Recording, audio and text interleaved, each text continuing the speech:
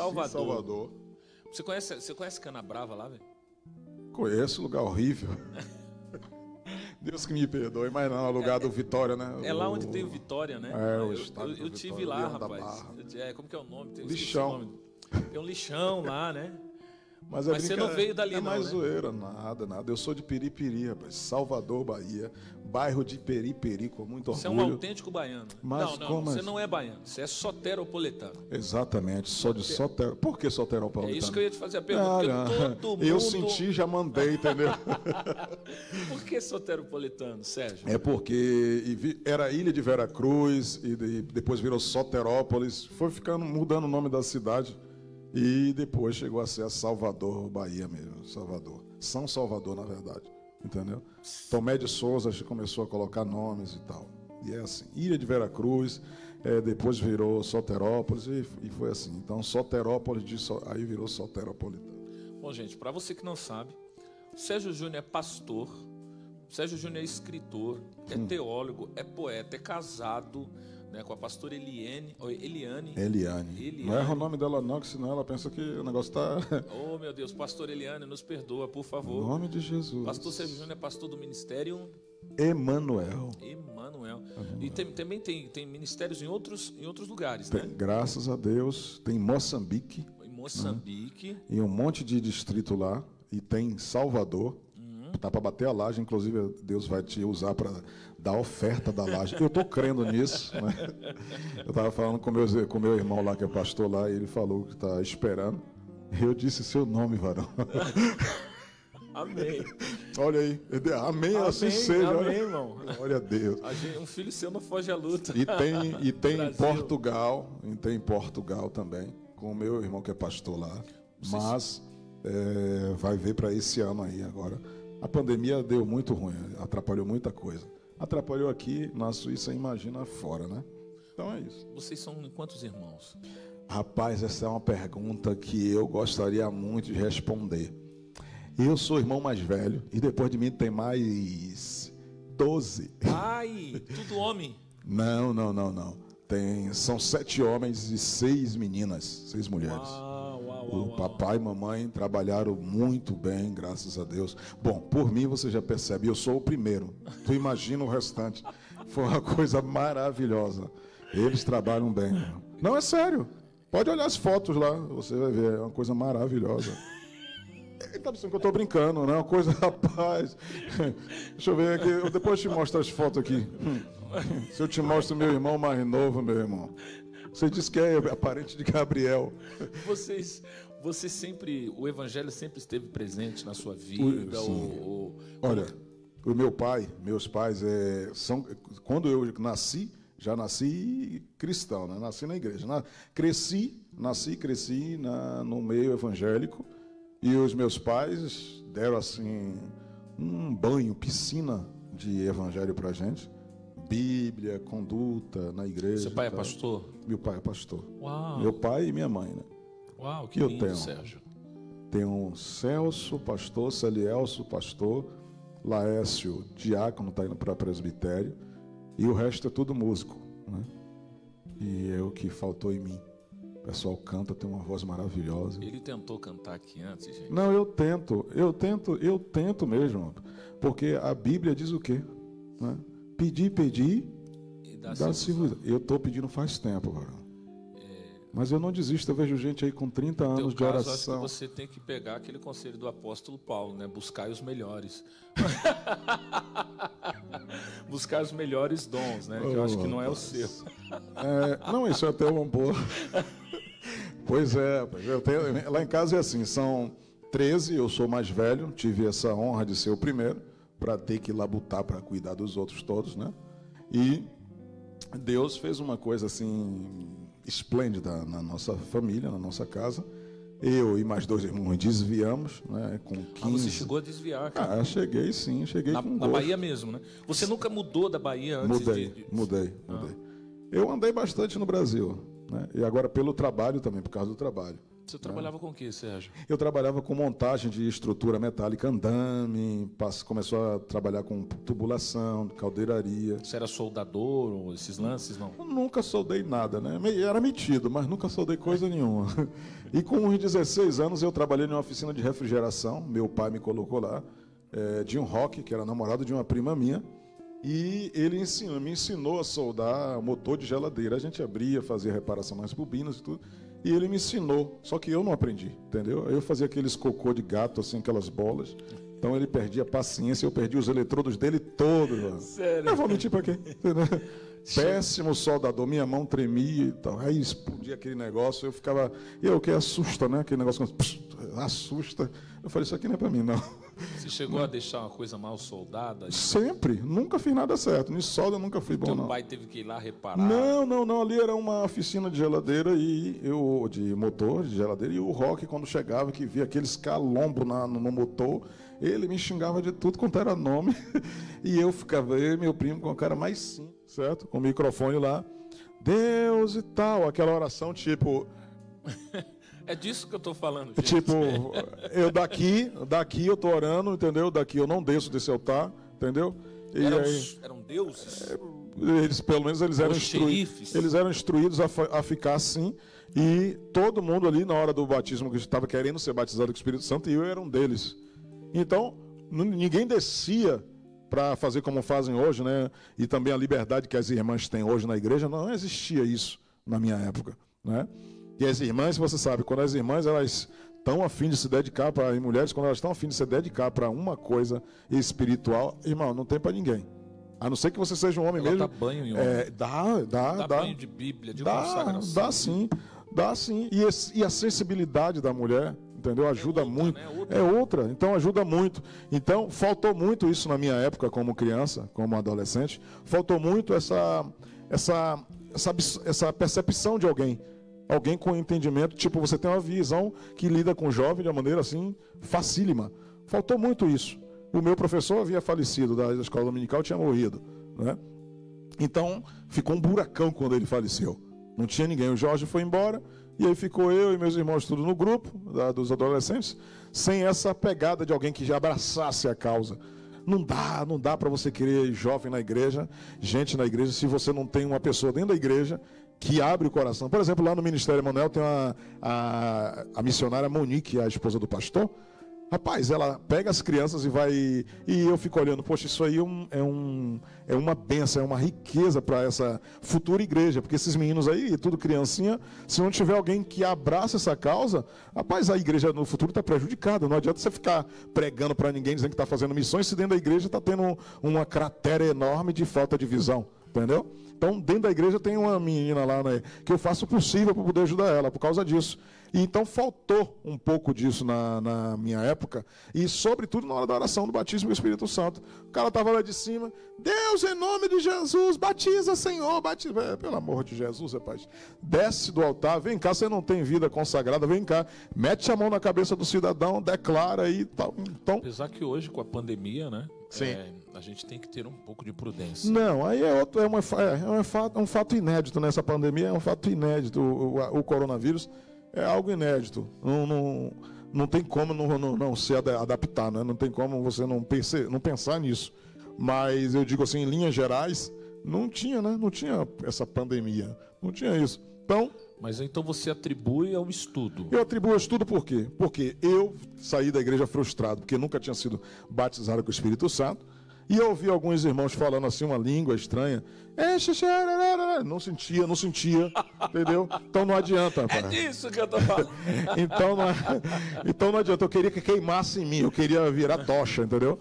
Eu nunca quis esse negócio assim falacioso, sofismado e que você inventa. Não, entendeu? inclusive tinha uma, uma história, não sei se é dessa época, que as pessoas diziam assim: ó, aquele ali é da Assembleia de Deus, por causa da língua estranha, né?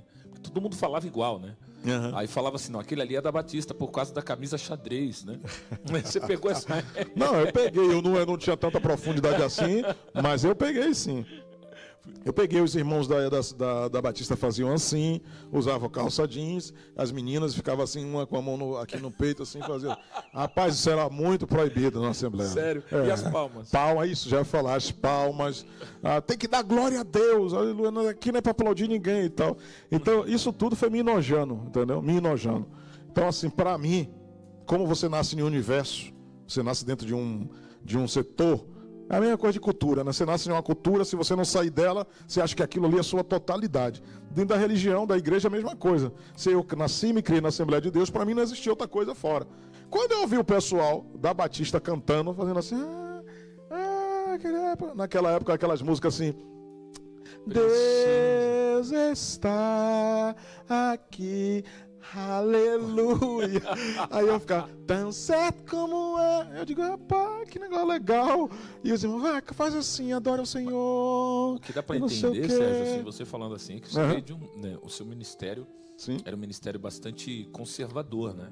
Bastante. É, bastante. Bastante. Era bastante conservador. Porque na Assembleia de Deus existe hum. hoje muitas igrejas abertas a, a esse movimento. É fruto de um sincretismo, isso é fruto do, do, do, do de, de, uma desobediência. Isso é fruto de falta de instrução. É isso que eu ia chegar. Né? Porque, tipo assim, porque a pessoa talvez ela cresceu num ministério rígido, aonde esse.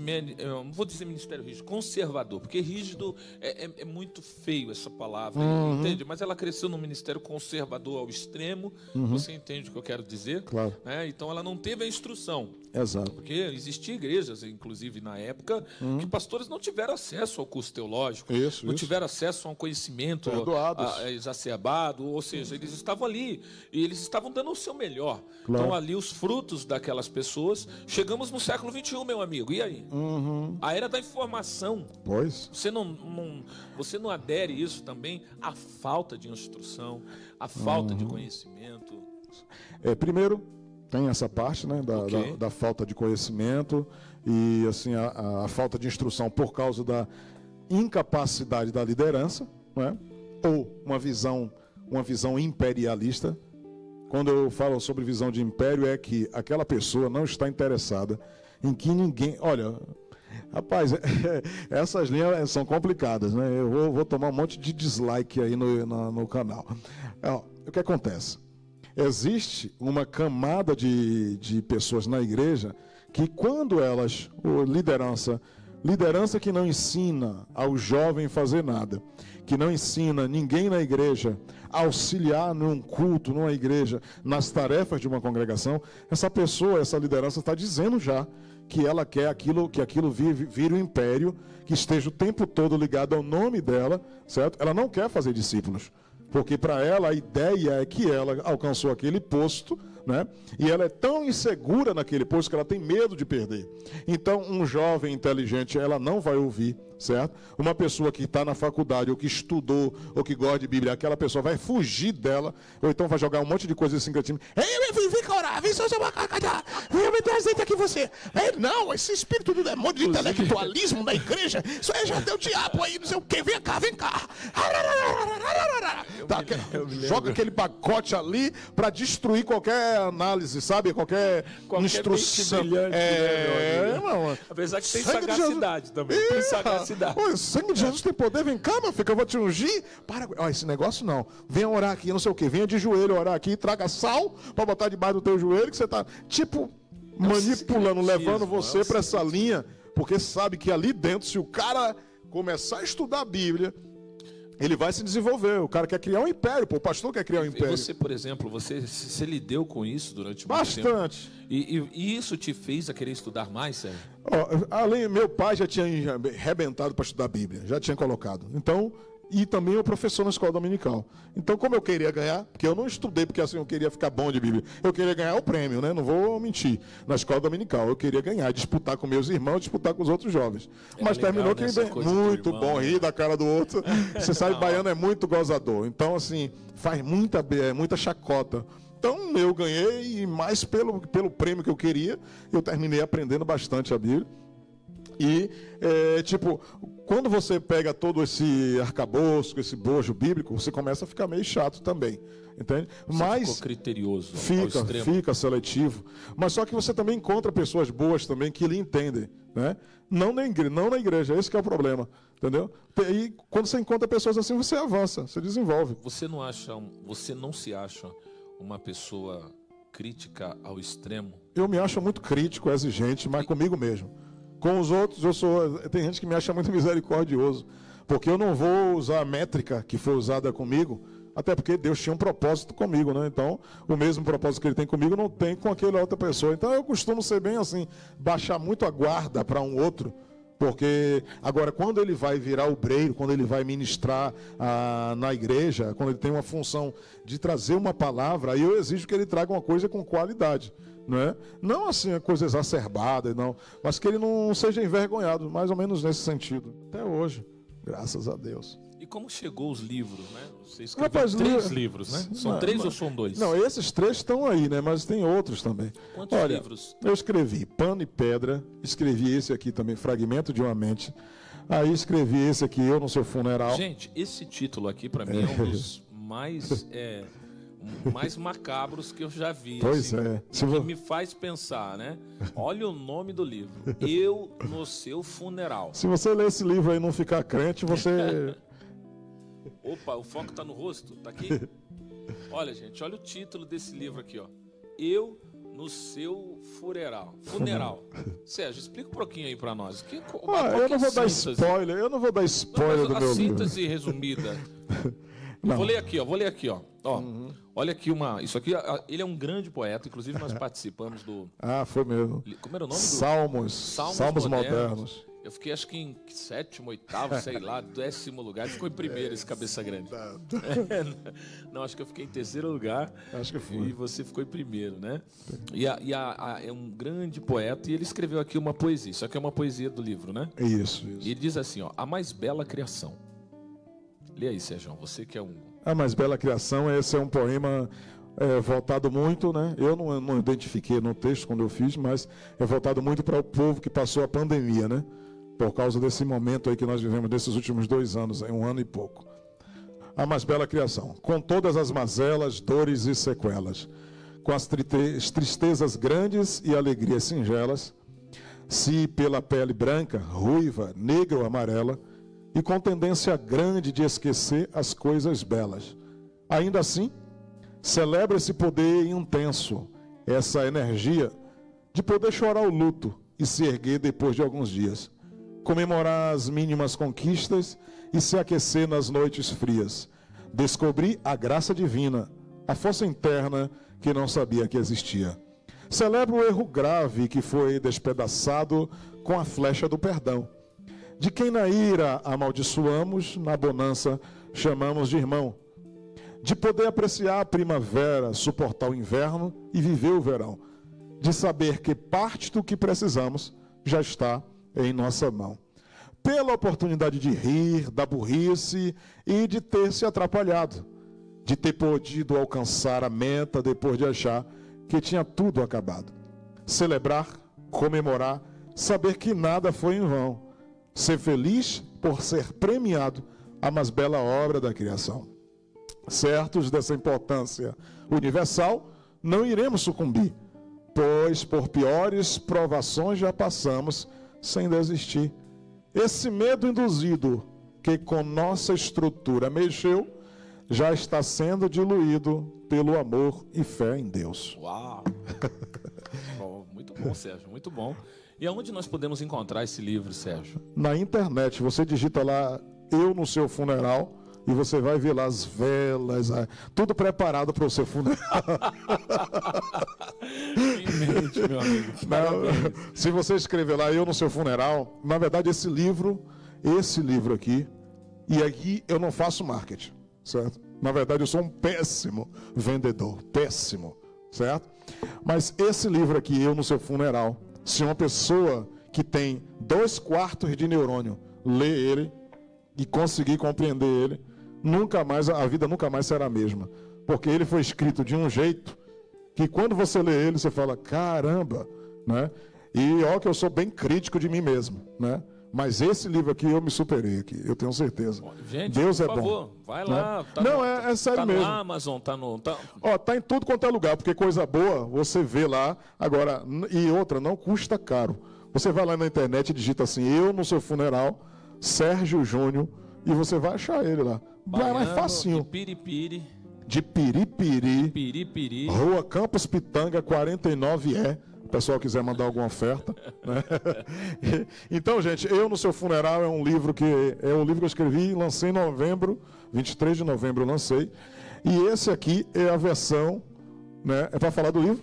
Por favor. E esse aqui é a versão em francês. C'est la version en français.